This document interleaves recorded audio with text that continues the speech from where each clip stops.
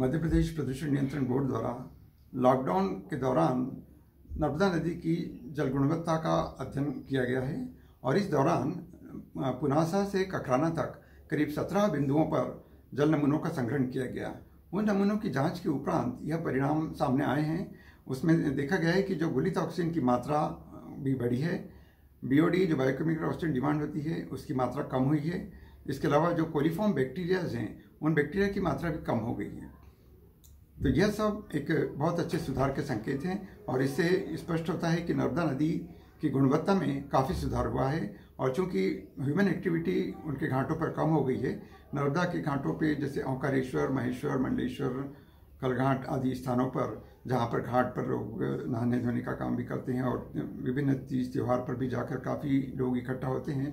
अभी फ़िलहाल लॉकडाउन में वो नहीं हो रहा है तो इन सब गतिविधियों के चलते नर्मदा नदी की गुणवत्ता में काफ़ी सुधार देखने को मिला है और वैसे नर्मदा नदी को ए श्रेणी की नदी घोषित किया गया है।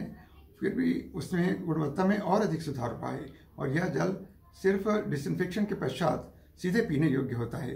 इतनी अच्छी नदी की गुणवत्ता जो हमें मिली है, हमारे प्रयास ये रहे कि हम उसको बरकरार रखें और लॉकडाउन के बाद भी हम ऐसे प्रयास करें कि नर्मदा नदी की जल की गुणवत्ता और अधिक सुधरती रहे और अच्छी होती रहे और यह सब हमारे लिए एक जीवन रेखा के रूप में जो मौजूद है, उसका हम अधिक अधिक लाभ ले सकें। इसमें आप सभी का सहयोग अपेक्षित रहेगा। धन्यवाद।